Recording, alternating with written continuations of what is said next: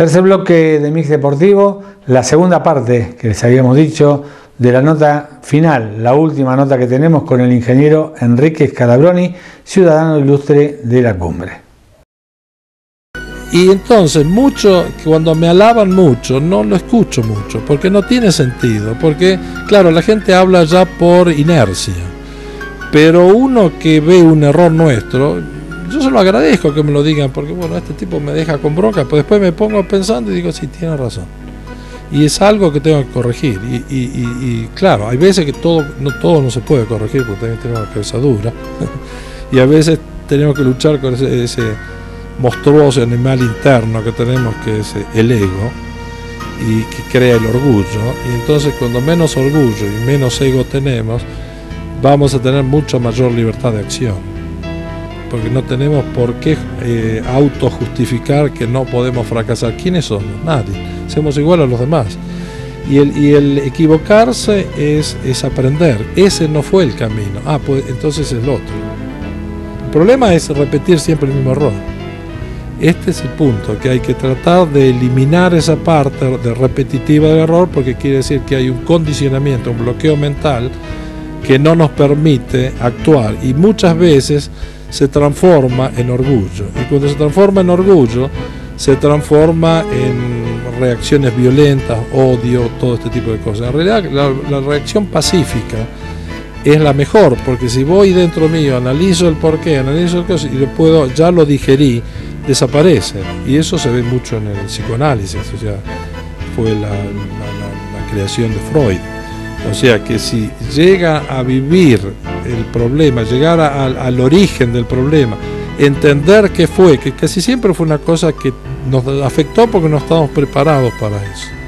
Y, y, ahí quedamos trabados. Entonces, si llegamos a entender eso, automáticamente desaparece y nos queda mucho camino a hacer y a vivir. Yo digo a la gente aquí, tengan la conciencia que son tan eh, iguales y quizás en muchas cosas superiores al europeo, porque yo me encontré en esto, que el europeo tenía el concepto de la organización, la precisión y todo, pero estaba limitado por la rigidez.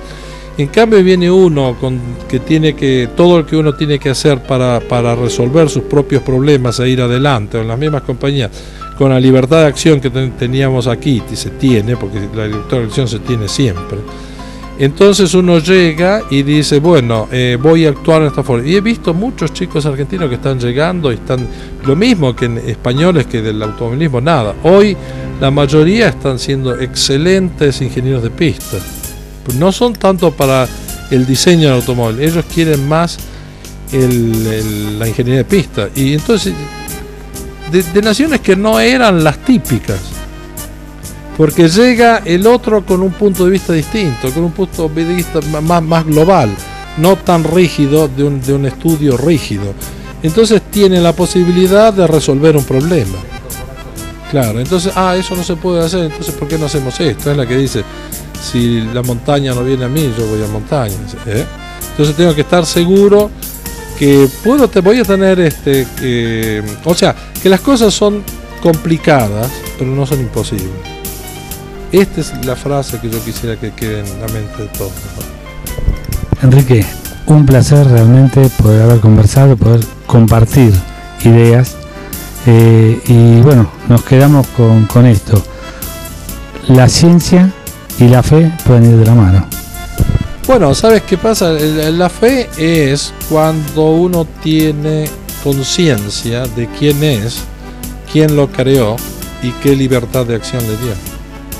Entonces, este, si yo tengo fe, la fe no se puede comparar. O sea, la fe es algo que, como decía San Pablo también, que es el, origen de la energía de la persona. O sea, es no frenar a sí mismo el exceso de fe, o sea, no quiere decir tener eh, mucha fe. Tener mucha fe no sirve tampoco porque no es fe, es, es engaño. Entonces tenemos que entender y después actuar. Y el otro punto es cuando hay cualquier cosa hay que ocuparse un 2-3%, y, perdón, preocuparse un 2 o 3% del tiempo y ocuparse todo el tiempo que sea necesario para resolverlo. Y, de esa forma se puede vivir en cualquier parte del mundo, porque vivimos un mundo de seres humanos que hablan eh, idiomas distintos y que tienen ciertas costumbres distintas, pero son similares. Esto es lo que uno que ve, todos son iguales. Y ahora es tiempo de boxeo. Volvió el boxeo a la cumbre y realmente una jornada espectacular en la biblioteca con más de 800 personas que fueron a ver el encuentro, la velada boxística en la que el cierre, la pelea final, estuvo a cargo del chiquito Bracamonte. Bueno, nosotros hicimos o queremos hacer un especial con todo lo que se vivió en esta jornada donde, como dijimos al principio, volvió el boxeo a la cumbre. Para empezar, la palabra del intendente, un aficionado al boxeo, el contador Rubén Ovelar. Rubén, hace unos meses atrás esto era un sueño. Hoy se convirtió en realidad, hoy esta biblioteca y Club Deportivo La Cumbre está lleno, lleno de nuestra gente. Y estás vos acá y queríamos preguntarte puntualmente, ¿qué se siente, qué siente Rubén, hombre, amante del deporte, de estar hoy en este lugar? Ante todo soy un aficionado amante del boxeo, me gusta todo lo que tiene que ver con esta actividad. Y verdaderamente una profunda satisfacción. Y viste que cuando se ofrece un espectáculo deportivo este, con un boxeador local, la gente responde con este marco de público, viene, paga la entrada, este, como cuando hay una peña este, con una buena propuesta, nuestra gente se merece este, poder divertirse y poder disfrutar de esta actividad deportiva en este caso, o una buena peña, un buen espectáculo. Creo que tenemos que seguir en esta línea, ¿no? Chiquito Bracamonte, más allá de un buen profesional, es una excelente persona. Atrás de él hay una familia maravillosa que lo apoya, hay valores, hay empuje, hay ganas de seguir, de crecer, de ser. Eh, ¿Qué concepto tenés vos de él? Lo conozco, lo conozco profundamente. Es una persona de bien, como vos dijiste, que forma parte de una familia excelente, que lo cuida, que lo protege, que lo ayuda. Ojalá que esta noche le vaya bien. Esto es simplemente una circunstancia, una pelea. Es como eh, un partido de fútbol donde uno gana o pierde es una circunstancia pasajera. Yo deseo que le vaya muy bien, por supuesto, creo que está preparado para esta pelea y bueno, disfrutemos de este espectáculo, ¿no? Su triunfo es este, sala llena, todos los afectos juntos y bueno, disfrutar esta noche, Rubén. Te agradezco mucho lo que acabas de decir, porque verdaderamente para mí es una satisfacción. Gracias. A vos. El boxeo, como dijimos, eh, un momento de alegría, una jornada de alegría. Realmente llamó la atención el festejo de la gente y cómo todo lo que estábamos presentes nos, pusimos, nos encolumnamos atrás del chiquito. Pero esto lo vamos a ir viendo más adelante. Antes de la pelea pudimos charlar con el padre. ¿Y qué siente un padre con un hijo que se va a subir al ring y va a pelear? Bueno, esto es lo que nos decía Carlos Bracamonte. Mix Deportivo TV está en YouTube. Todas las notas, todos los programas. Así se llevan a los hijos, en el corazón y por toda la vida, en las espaldas, compartiendo el peso día a día.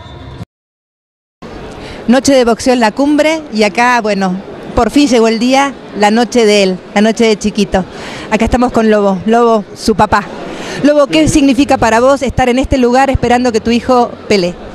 Mire, Primero eh, y principal, muchas gracias a ustedes por estas notas y por lo están eh, promocionando a él, lo quieren mucho y no lo dudo. Y, segundo, eh, agradecerle a toda llama esta gente que lo apoya y lo quiere, le brinda cariño y que sea la noche, diríamos la noche de él acá en la cumbre, que tanto espero y que se le va a dar si Dios quiere. Él está muy ansioso y tiene miedo de, a veces de que no vaya a salir las cosas bien, pero digo, no te hagas problema, hijo, ya ganaste. Lobo, cuando hablamos de un buen profesional, hablamos de chiquito, pero por sobre todas las cosas hablamos de un ser humano maravilloso que tiene atrás una familia que hizo de él lo que es hoy él. Ustedes tienen mucho que ver en esto, como papás, como mamás, el afecto, el acompañarlo, los hermanos, la novia, todos sus seres queridos. La prensa de la cumbre le agradezco muchísimo, porque le han hecho mucho por él, mucho, lo han difundido, se ha hecho querer, lo quieren todo, y eso es importante, la ayuda de ustedes también tiene muchísimo que ver. No te robamos más tiempo, sé que vas a querer empezar a ver todo este espectáculo. Muchísimas gracias y en nombre de tu hijo y en Mix Deportivo, muchísimas gracias por el ser humano que es Chiquito Bracamonte. Sí, no, y ustedes no se quedan atrás, ¿eh? por lo que hacen por los chicos diferentes y todo, es un mérito, como le digo a él, a mí me conmueve, me conmueven con eso, me conmueve porque ya, ya con ver eso ya son demasiados seres humanos porque nadie se preocupa por ellos. Los ven indiferentes, ustedes no, les dan una mano. Y si algo podemos hacer nosotros por ellos, lo vamos a hacer. Del lado de chiquito en adelante, si hace falta algún día chiquito que, que le haga un espectáculo, algo para ayudarlos en algo, cuenten con él.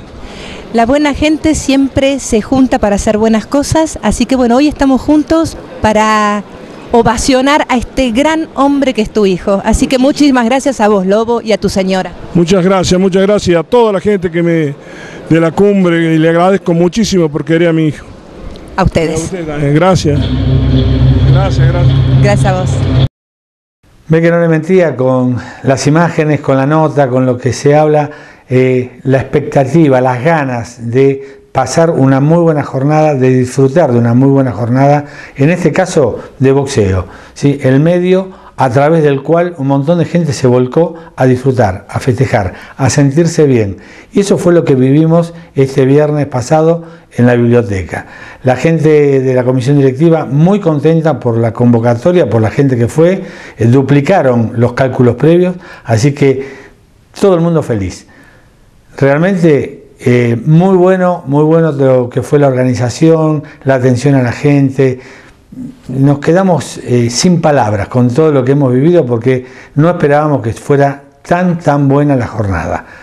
Vamos a tener más en el próximo bloque con Marcelo Bracamonte y la pelea del chiquito.